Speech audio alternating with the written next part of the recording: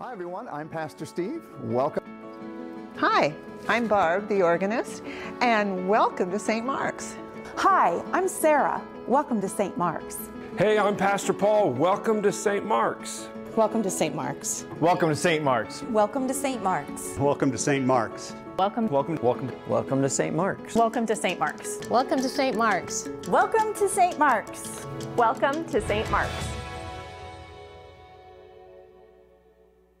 Morning, St. Mark's family. We are so glad to have you here with us. Whether you're in person or online, we have three ways that we want to connect with you. Our first option is our printed connection card.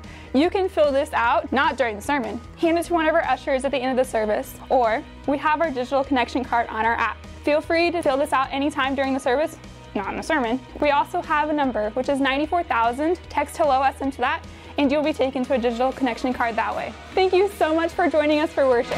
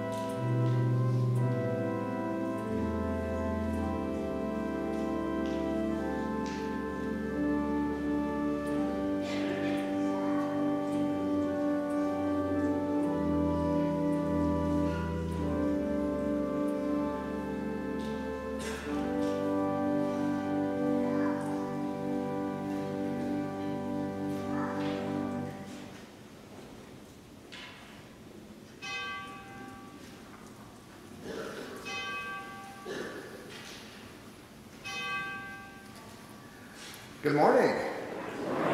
And welcome to worship. And for those of you watching online, a very special welcome to you as well. We're so glad that you're with us today.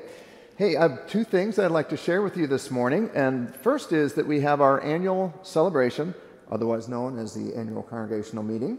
But annual celebration, which will be on Sunday, February the 6th after second service. So that'll be actually at 1130, um, and that'll be available on Zoom but also in person. Now, we do need you to register ahead of time, um, and uh, you can do that either in person out at the Welcome Center out there in the um, common area out there, or you can do it online as well.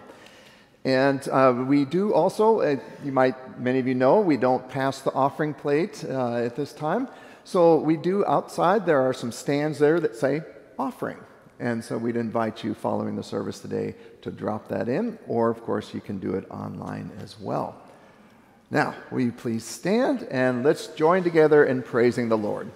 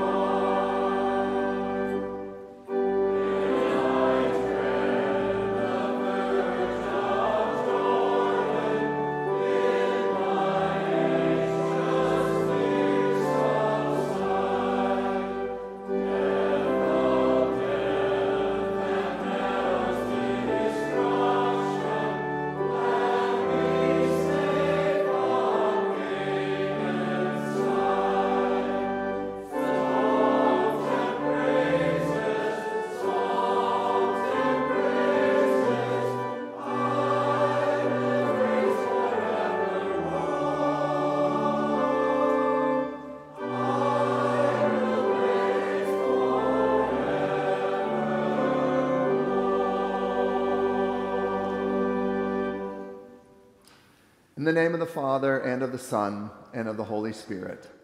Amen. Will you please pray with me? Almighty God, to whom all hearts are open, all desires known, and from whom no secrets are hid, cleanse the thoughts of our hearts by the inspiration of your Holy Spirit, that we may perfectly love you and worthily magnify your holy name through Jesus Christ our Lord. Amen.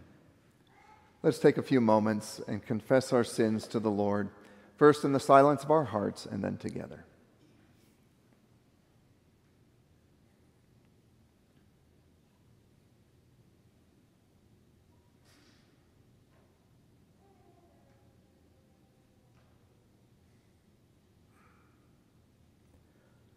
Most merciful God, we confess that we are captive to sin and cannot free ourselves. We have sinned against you in thought, word, and deed, by what we have done and by what we have left undone. We have not loved you with our whole heart. We have not loved our neighbors as ourselves. For the sake of your Son, Jesus Christ, have mercy on us. Forgive us, renew us, and lead us, so that we may delight in your will and walk in your ways to the glory of your holy name. Amen. In the mercy of Almighty God, Jesus Christ was given to die for us, and for his sake, God forgives us all of our sins. As a called and ordained minister of the Church of Christ, and by his authority, I therefore declare to you the entire forgiveness of all your sins, in the name of the Father, and of the Son, and of the Holy Spirit. Amen. The grace of our Lord Jesus Christ, the love of God, and the communion of the Holy Spirit be with you all. In peace, in peace, let us pray to the Lord. Lord have mercy, Christ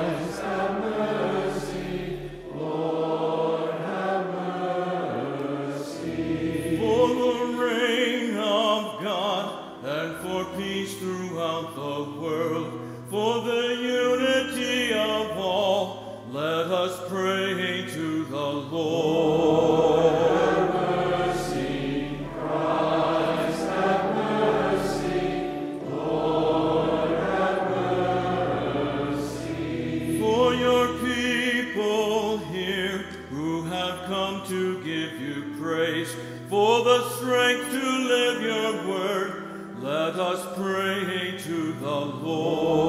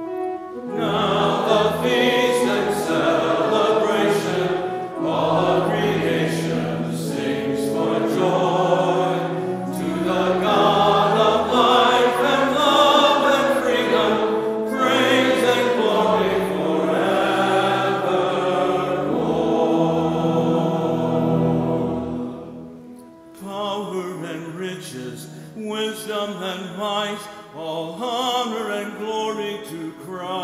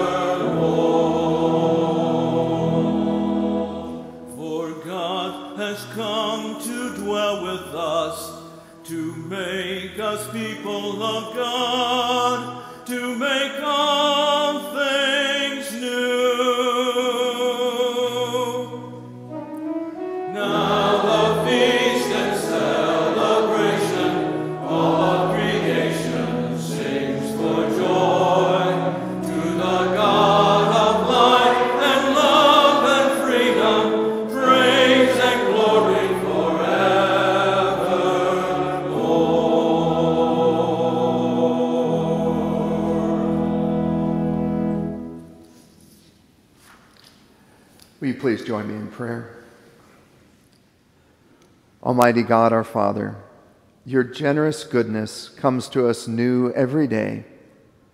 By the work of your Holy Spirit, lead us to acknowledge your goodness, give thanks for your benefits, and serve you in willing obedience. Through Jesus Christ, our Savior and Lord. Amen. You may be seated.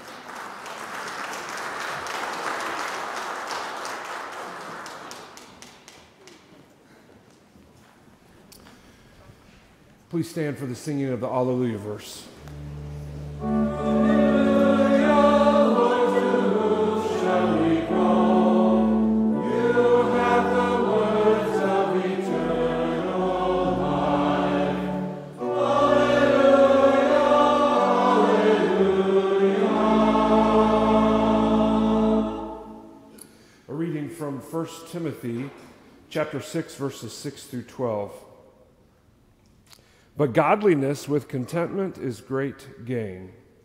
For we brought nothing into the world, and we could take nothing out of it. But if we have food and clothing, we will be content with that. Those who want to get rich fall into temptation and a trap and into many foolish and harmful desires that plunge people into ruin and destruction. For the love of money is the root of all kinds of evil.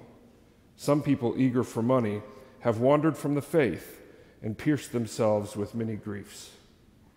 But you, man of God, flee from all this and pursue righteousness, godliness, faith, love, endurance, and gentleness. Fight the good fight of faith.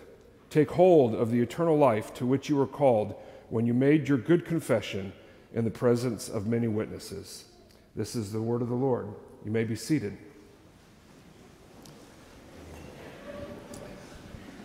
And so will I.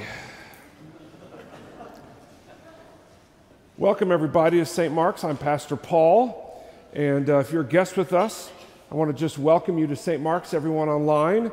It's good to have you here as well. I came to St. Mark's about uh, two years ago, a little over two years ago, and my first sermon series was on money. And we're in a sermon series on money, and I, I like talking about money.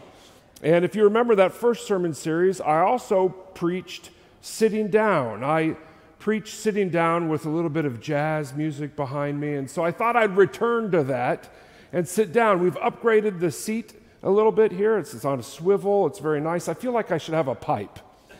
I feel like it should be, you know, thoughts with Pastor Paul Hennings, you know, in a pipe, but there's no smoking allowed in here, folks. Okay, so today, though, I do want to talk about money and I want to talk about contentment.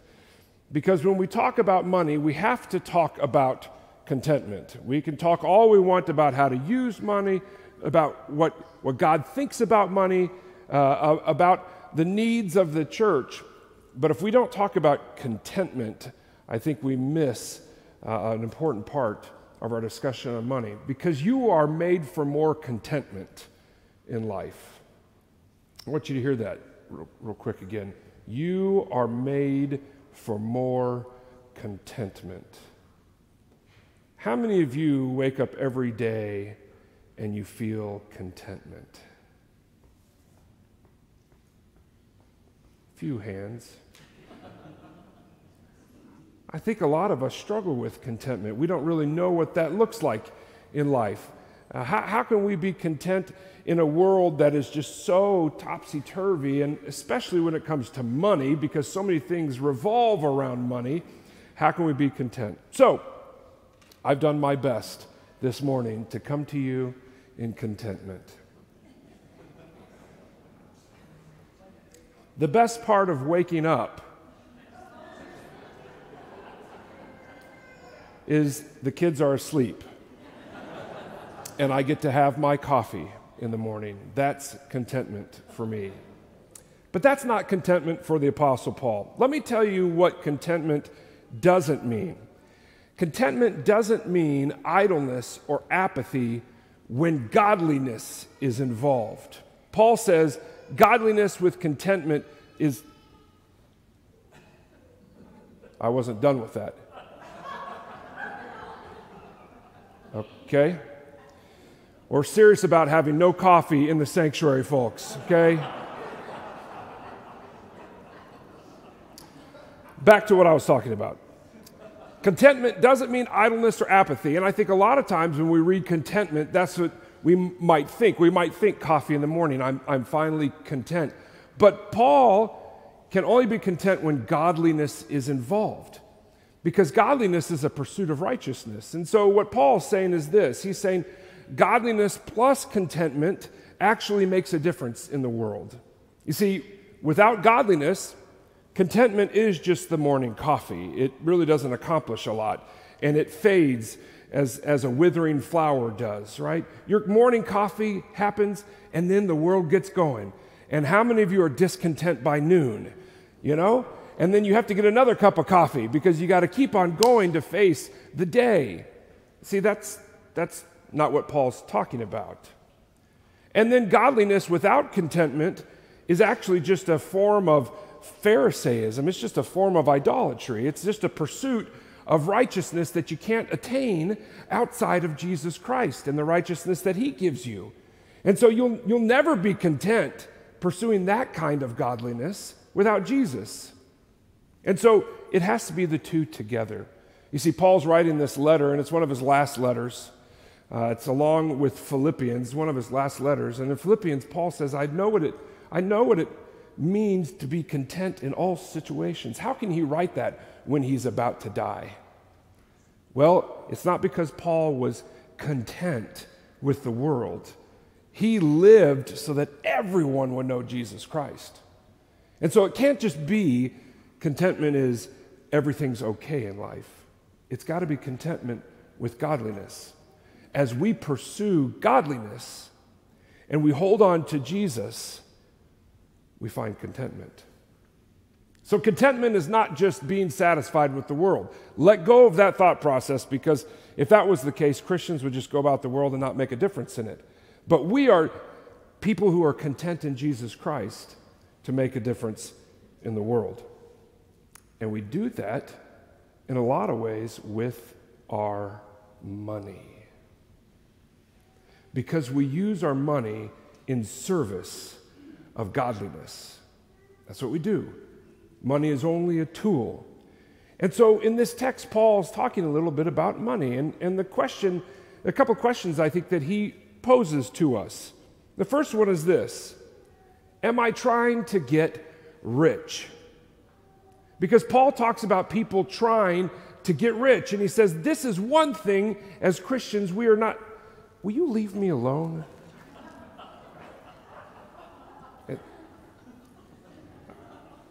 It's not my plant, anyways. You can have it. All right. See how this is going to go. Two questions to ask yourself with regard to money.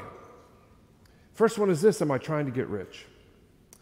Now, most of us would say, I'm not trying to get rich.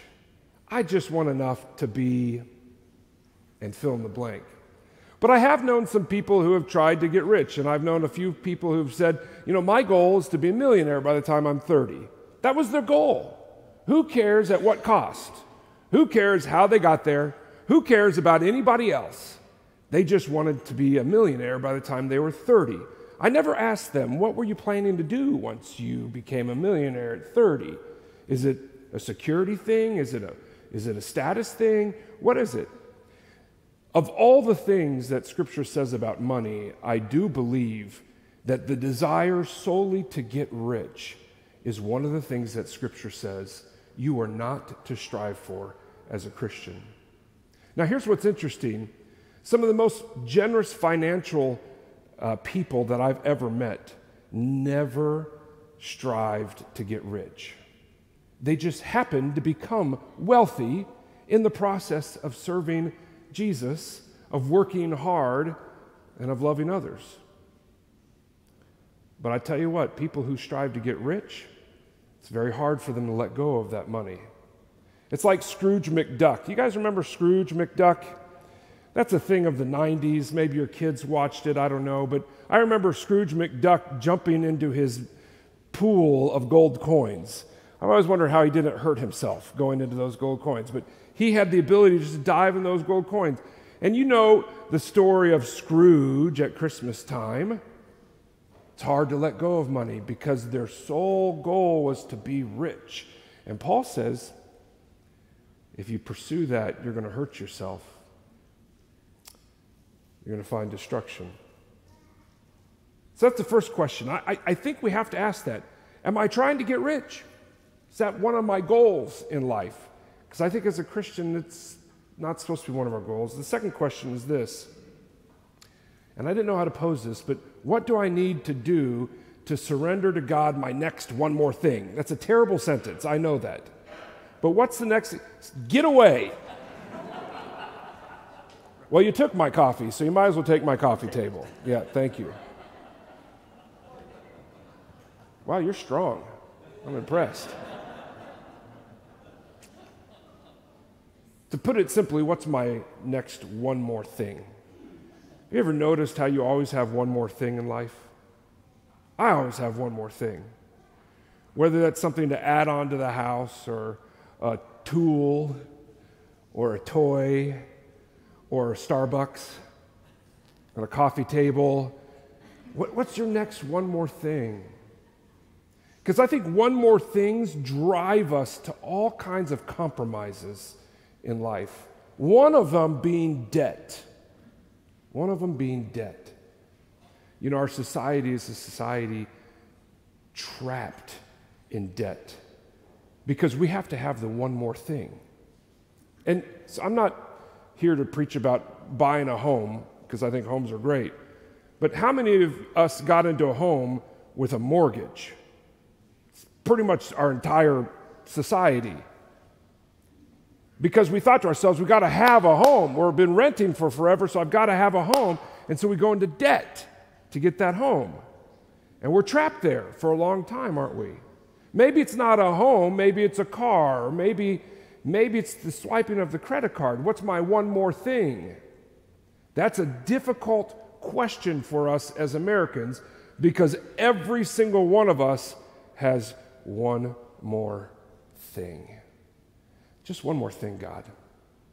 You know, I, I like that outfit that I saw at Von Maur. I, I, don't, I don't ever say that, but whatever. I'm trying to relate to some people who say that. I like that one. God, if I could just have that tool, that's the one I like, you know? If I could just have that. Or a bigger TV, because that fits our wall better. Right? We laugh at it, but I mean, th- these are the things, the one more things. And by, you know who has the most one more things? Our kids. Our kids have one more thing constantly. How do you surrender that to Jesus, right? How do you surrender your one more thing?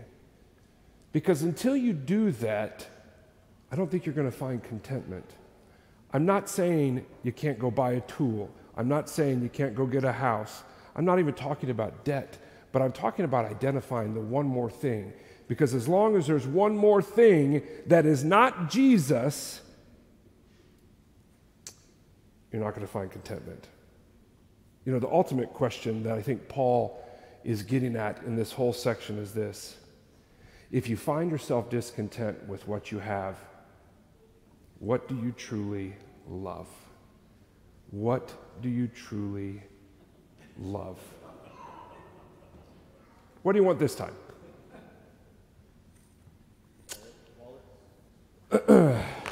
really? You're going to take everything that I have, aren't you?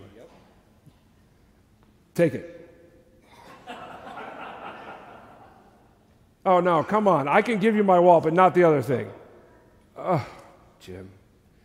Jim, you know, you're interrupting my sermon here. This is really important to me, okay?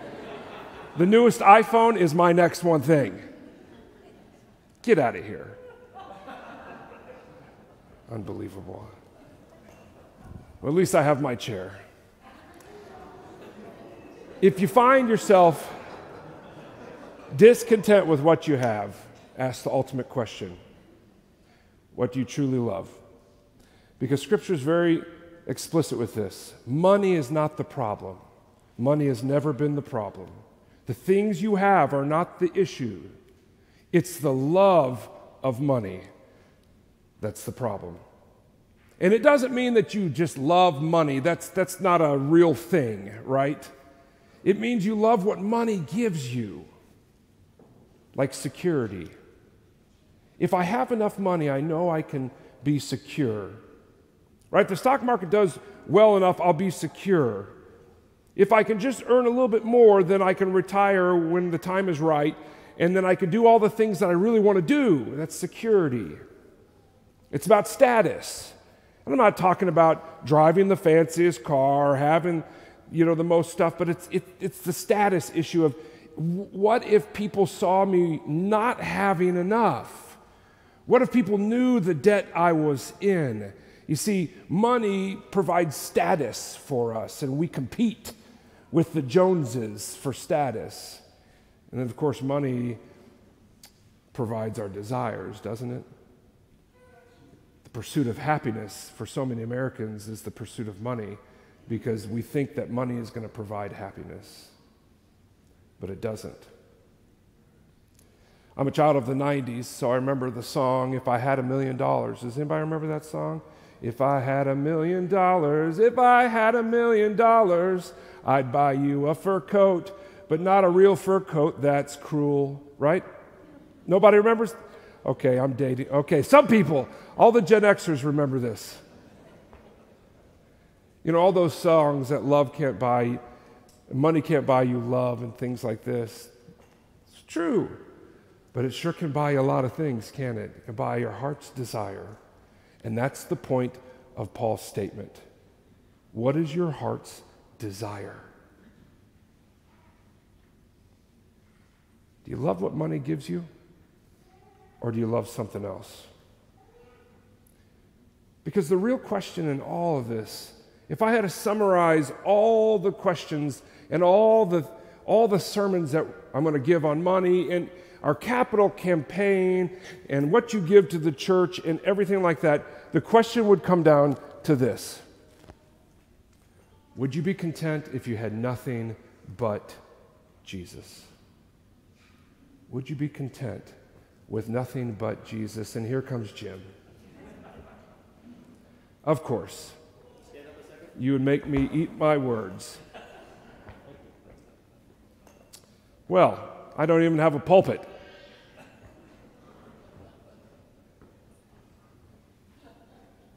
Would you be content with nothing?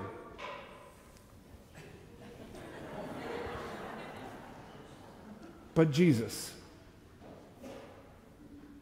You know, uh, I think one of the greatest, the greatest temptation that Jesus faced was in the wilderness with Satan. And, and if you know the story, Satan takes him to the highest point on the temple, and shows him things, and says, I'll give you all of this. And he, he's been fast, uh, Jesus has been fasting for a long time, and says, Turn this rock into a stone. Fine. Just bow down before me. I think those questions are questions faced it to Jesus of contentment. Because Jesus, in a moment, could have had the allegiance of everyone if he would have just bowed to Satan I think the same issue, I think that's the same issue that we face when it comes to money. Just love money and what it gives you instead of Jesus, and then you'll get everything that you want. I think that's the temptation of Satan for us. But the question is would you be content if you had nothing but Jesus? Because Jesus is content with nothing but you.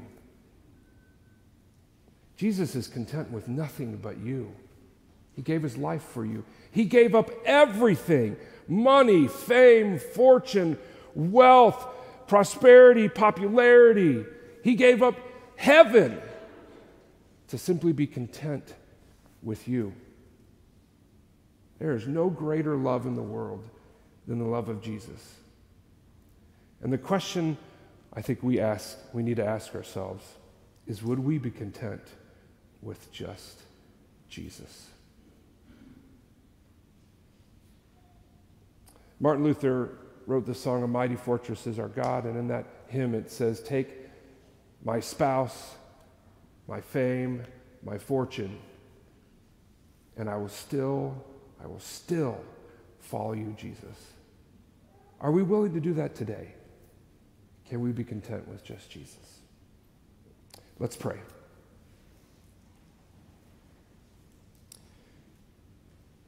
Heavenly Father,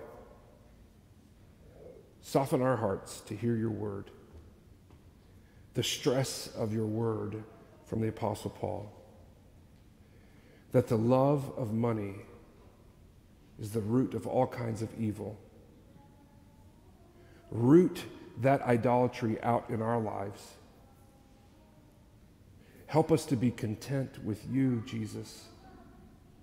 Help us to not strive for riches, but instead strive for justice, strive for compassion and care and a better world. And Lord, if that means that we have to sacrifice the things that we have, we're going to do that, Lord, because we're going to be content with you. Jesus, help us to see the cross and what you gave up as we look at this, um, as we look at money in our lives. Help us to see you, Jesus, and your sacrifice. Thank you for giving us everything that you are. Thank you for being content with me and with everyone here. Pray this in your name, Jesus. Amen.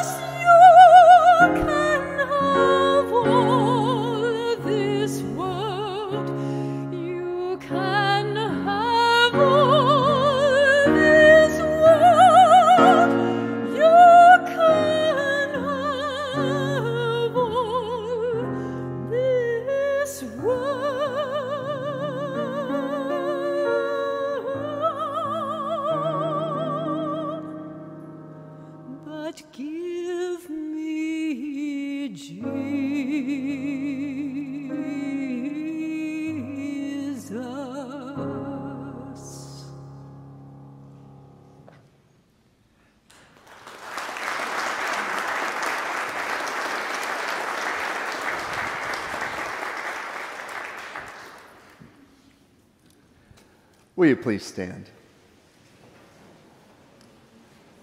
Let's join our hearts and our voices in proclaiming the faith using the words of the Apostles' Creed. I believe in God the Father Almighty, creator of heaven and earth. I believe in Jesus Christ, his only Son, our Lord. He was conceived by the power of the Holy Spirit and born of the Virgin Mary. He suffered under Pontius Pilate, was crucified, died, and was buried. He descended into hell. On the third day he rose again. He ascended into heaven and is seated at the right hand of the Father. He will come again to judge the living and the dead. I believe in the Holy Spirit, the holy Christian church, the communion of saints, the forgiveness of sins, the resurrection of the body, and the life everlasting. Let's join our hearts in prayer.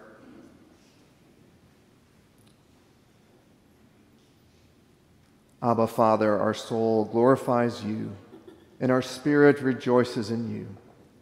You have redeemed us through your Son, Jesus Christ our Lord.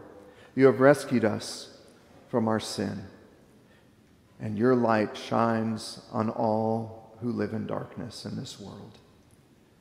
Guide our feet into the path of peace. Open our hearts to your Holy Spirit. We praise you for this day and we praise you for the freedom to worship you. We praise you for the courage you have placed in the hearts of missionaries throughout this world and in Christians throughout this world who work and worship and bear testimony to you in the shadow of repressive governments and so often under the threat of arrest or even death. Lord God, we praise you for the work of your people in this nation, in this community, and in our neighborhoods. We admit that we often seek to build up your kingdom by our own efforts without seeking your guidance and help. We do ask that you would build up, guide, and inspire the leaders of this nation. And we also ask that you would guide us as a church, that you would guide the leaders and members of Wellington Heights Community Church and we ask, too, that you would bless and work powerfully through the Alpha course as it begins today. And Lord God, we pray for our president, leaders at every level of government. Guide them, inspire them, give them a heart for service.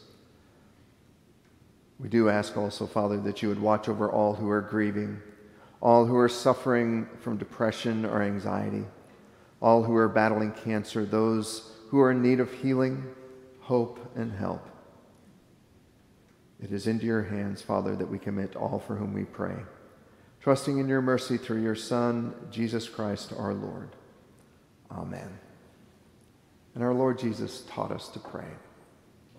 Our Father, who art in heaven, hallowed be thy name. Thy kingdom come, thy will be done on earth as it is in heaven. Give us this day our daily bread, and forgive us our trespasses, as we forgive those who trespass against us. And lead us not to temptation, but deliver us from evil. For thine is the kingdom, and the power, and the glory, forever and ever. Amen.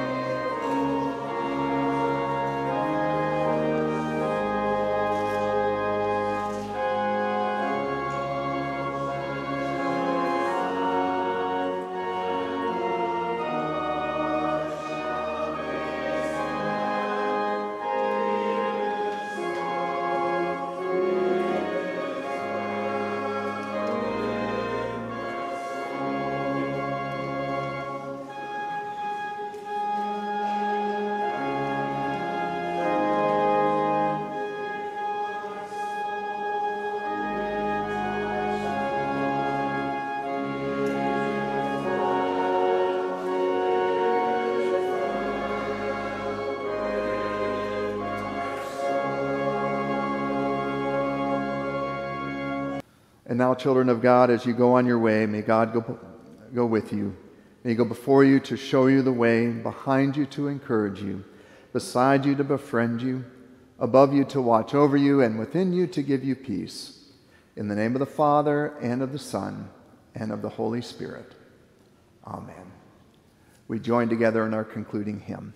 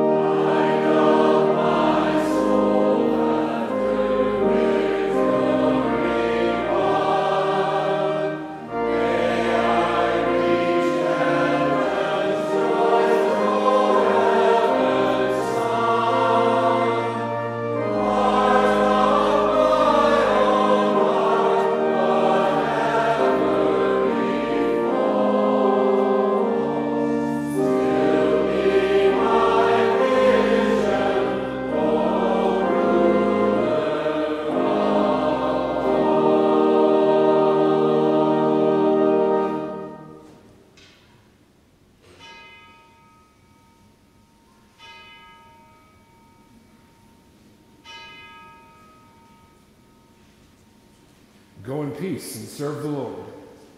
Thanks be to God.